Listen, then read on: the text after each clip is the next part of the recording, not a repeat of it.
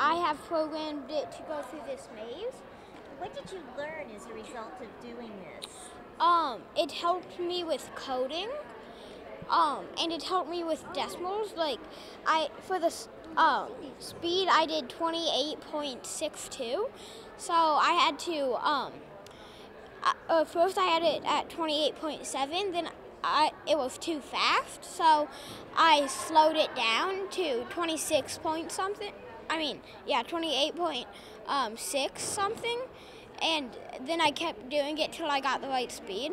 Very good. So it helped you learn about decimals, right? Yeah, and coding. And coding. Excellent.